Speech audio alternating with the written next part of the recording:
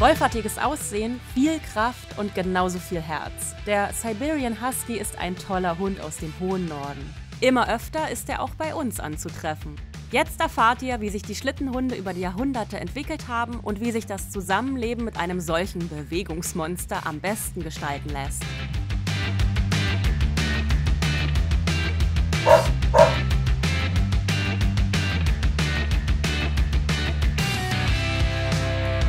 Wie der Name schon verrät, stammt der Siberian Husky ursprünglich aus Sibirien, der nördlichsten Region Russlands. Schon seit 2000 Jahren leben dort die Inuit mit dem kräftigen Husky zusammen. Er diente ihnen vor allem als Zug- und Nutztier, war aber auch schon immer ein geschätztes Familienmitglied. In solcher Abgeschiedenheit blieb die Rasse über Jahrhunderte rein. Der Husky ist damit näher mit dem Wolf verwandt als viele andere Hunderassen. Und sieht auch ein bisschen so aus. Übrigens, auf unserem Kanal findet ihr auch noch viele weitere Rasseporträts. Abonniert uns einfach, dann bekommt ihr immer gleich mit, wenn wir was Neues für euch haben. Anfang des 20. Jahrhunderts brachte ein sibirischer Pelzhändler die Tiere nach Alaska und trat dort mit ihnen bei einem Hundeschlittenrennen an. Die vergleichsweise schlanken Huskies wurden vom Publikum erst noch belächelt, schafften es aber tatsächlich direkt auf das Siegertreppchen. Bald darauf begann auch schon die Zucht dieser überzeugenden Hunderasse in Alaska. Die Anerkennung der Huskies erfolgte dann aber erst 1930 in den USA und in Europa sogar erst 1966. Der Husky ist ein mittelgroßer Arbeitshund. Er ist muskulös, ausdauernd, leichtfüßig und unglaublich stark. Rüden werden bis zu 60 cm groß und 28 Kilo schwer. Weibchen bleiben mit maximal 56 cm und bis 23 Kilo etwas kleiner und leichter. Die Pfoten sind für die Größe vergleichsweise klein und das hat seinen Grund. Der Winterhund verliert darüber nicht so viel Wärme. Auf dem leicht gerundeten Kopf sitzen die dicht behaarten Ohren hoch und eng beieinander. Vor allem am Fell erkennt man den nordischen Typen. Er ist pelzartig, mittellang und bietet mit der weichen, dichten Unterwolle den perfekten Schutz gegen eisige Kälte.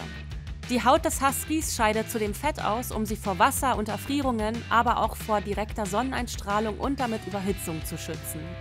Die Unterwolle ist rein weiß oder leicht gefärbt, das Deckhaar kommt in allen Farben vor, zum Beispiel weiß, grau, rot oder schwarz. Im Kopfbereich haben Huskies oft ganz eigene Fellzeichnungen, ein bisschen wie Masken. Die buschige Rute hat fast keine Unterwolle und wird zum Nasenwärmen eingesetzt. Im Schneesturm rollen sich die Huskies zusammen und stecken die Schnauze unter den Schwanz, der als Luftfilter die Luft vorwärmt.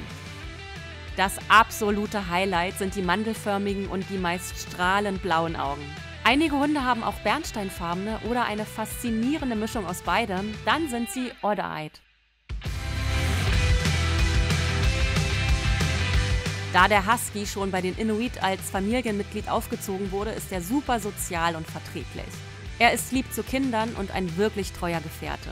Das plüschige Nordlicht sucht immer den Anschluss zum Rudel und bleibt nur ungern allein.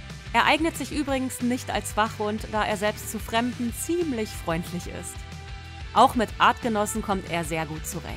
Bei aller Liebenswürdigkeit darf aber sein ausgeprägter Jagdtrieb nicht vergessen werden. Also Achtung auf euren Trips in der freien Natur. Das sibirische Energiebündel braucht viel Bewegung, damit er ausgeglichen ist und sanftmütig bleibt. Als Husky-Halter solltet ihr am besten selbst aktiv sein, also wirklich sehr, sehr, sehr aktiv. Viel spazieren gehen, Joggingrunden, Schwimmen im See oder hin und wieder eine Radtour. Alles super, aber für den Husky nicht genug. Auch Hundesport wie Agility-Training ist eher nichts für den ursprünglichen Schlittenhund. Am besten wäre wirklich der Schlittensport, um einen Husky auszulasten. Es braucht übrigens auch nicht unbedingt Schnee, das geht auch sehr gut auf Rädern. Erkundigt euch doch mal, ob es zum Beispiel einen Verein in eurer Nähe gibt.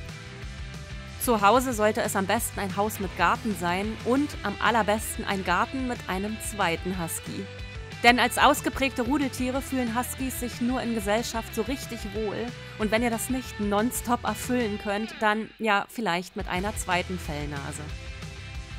Arbeitsam, intelligent und aufmerksam wie er ist, könnt ihr euren Husky gut erziehen. Ihr solltet dabei aber sehr konsequent sein und der Hund muss unbedingt ausgelastet sein.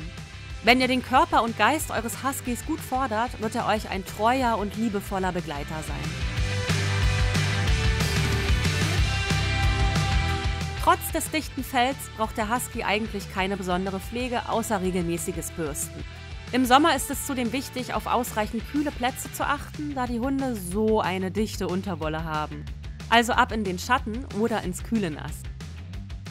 Traut ihr euch an den Husky ran oder habt ihr sogar schon einen oder vielleicht auch mehrere zu Hause?